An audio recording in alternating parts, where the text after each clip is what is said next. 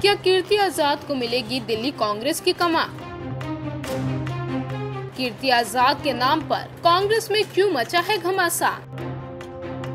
करीब ढाई महीने से खाली चल रही दिल्ली प्रदेश कांग्रेस के अध्यक्ष की नियुक्ति होने वाली है। इस रेस में वैसे तो कई नाम हैं, लेकिन जिनका नाम सबसे आगे चल रहा है वो है पूर्व बीजेपी नेता कीर्ति आज़ाद। हालाँकि उनके नाम के ऐलान से पहले ही कांग्रेस में घमासान भी शुरू हो गया है। सूत्रों से मिली जानकारी के मुताबिक, लोकसभा चुनाव से ठीक पहले कांग्रेस में शामिल होने वाले कीर्ति आज़ाद को दिल्ली प्रदेश कांग्रेस की कमान मिलने वाली है। लेकिन उनके नाम पर पार्टी के अंदर ही हड़कंप मचा हुआ है। खबरों की माने तो पार्टी के कई सीनियर नेताओं ने पार्टी आला कमान के पास उनके नाम पर आपत्ति दर्ज कराई है। ज़्यादातर नेताओं की दलील दी है कि पार्टी की हालत पहले ही दिल्ली में बहुत खराब है। ऐसे में पार्टी में कुछ महीने पहले शामिल हुए एक नेता पर दाव खेलना दिल्ली विधानसभा चुनावों से ठीक पहले महँगा साबित हो सकता है। खास तौर पर तब, जब कीर्ति को संगठन चलाने का कोई अनुभव नहीं है। उन नेताओं ने ये भी कहा कि इस वक्त एक ऐसा नेता चाहिए जो सभी को साथ लेकर चल सके। ऐसे में किसी अनुभवी को कमान देना ही उचित होगा।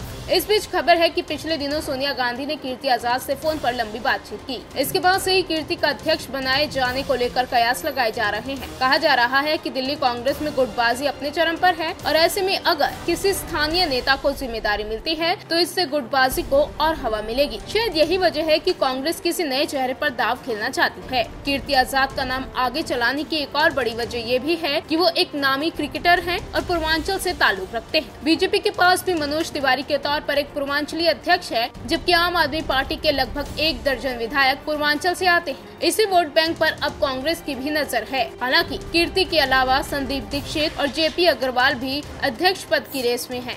ऐसे में देखने वाली बात होगी कि कांग्रेस पुराने नेताओं पर दाव खेलती है या फिर कीर्ति आज़ाद जैसे नए चेहरे पर इंडिया न्यूज़ वायरल की रिपोर्ट